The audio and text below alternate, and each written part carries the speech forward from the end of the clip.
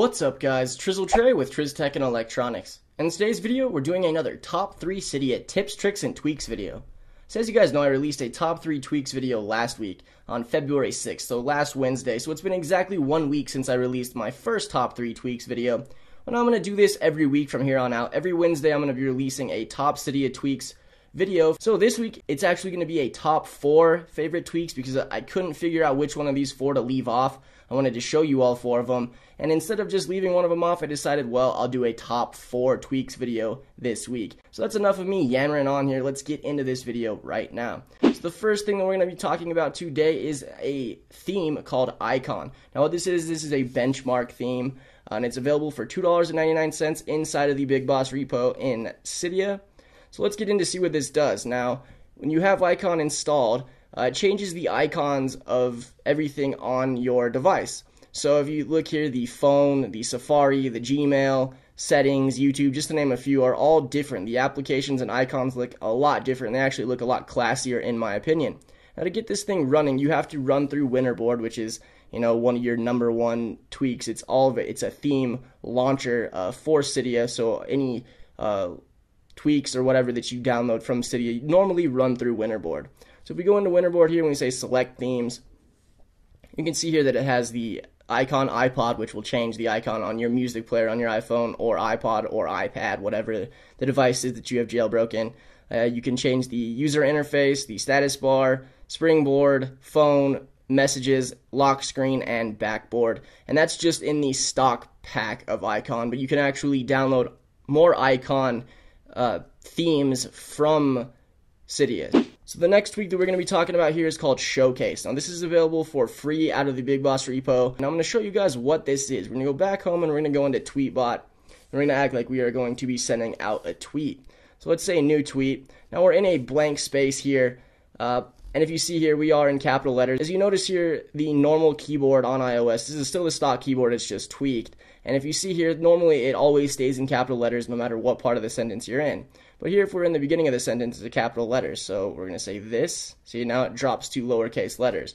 This is something that I love. This is something that Android's been doing for a very long time uh, so that you can tell what part of a sentence you're in or, or what what case you're in when you're in the middle of a sentence. On my iPhone, I find myself writing capital letters a lot because I can't tell if they're in capital or in lowercase because just the little shift button lights up, and my thumb tends to cover that when I'm in the middle of typing a message. Uh, so I do like that it, it changes that. I think it's it's very good. Uh, and if you double tap and you go back to and throws in a period, uh, you can start over again in a capital letter. So it's really cool. It does recognize what case and what part of the sentence you're in. And this one is called SwipeSelection. This is also free and inside of the Big Boss repo in Cydia, so it's called SwipeSelection. Now we're going to go back into that same tweet that we were working on inside of Tweetbot.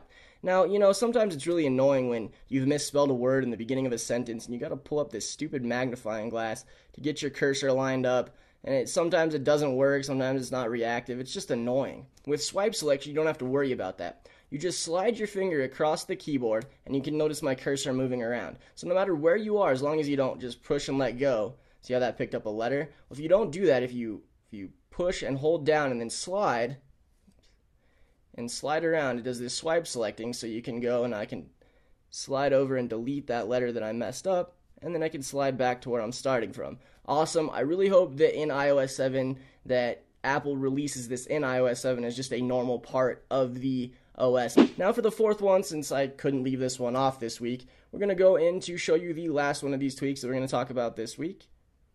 And this one is called Zephyr. Now Zephyr is available for $4.99 inside of the Big Boss repo, so all of these uh, tweaks that I talked about this week are available inside the Big Boss repo in Cydia. This one is the most expensive. It is available for $5 inside of the Big Boss repo. So I'm going to go back to the home screen. We're going to go back into Tweetbot. Now, let's say that we, you know, we want to go back to Cydia, but we're still in the application. You know, normally you got to double tap the home button to pull up the switcher, and then you can move. Well, with Zephyr, you can just scroll to the right. Now look, I'm back inside of Cydia. That simple. Now let's say I want to go back to Tweetbot. I want to do, I see something on here, but I want to take it back to Tweetbot. Boom, just scroll back, back into Tweetbot. Now let's say I want to close Tweetbot. Tap the bottom and scroll up. Boom, we're out of there. Another thing that's cool is that we can bring up the switcher by just scrolling up from the bottom of the home screen, which is really awesome. So it's really cool. A lot of people tend to break their home buttons, and this really solves that problem. So that pretty much does it for today's top tweaks and tips here on Cydia after the iOS 6 through 6.11 untethered jailbreak evasion.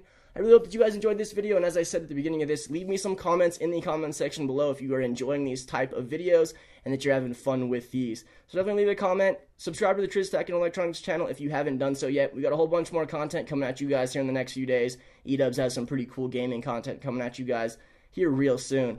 So hope that you enjoyed. Give it a thumbs up if you did, and I'll catch you guys in the next one. Take care, guys. Have a good one. Peace.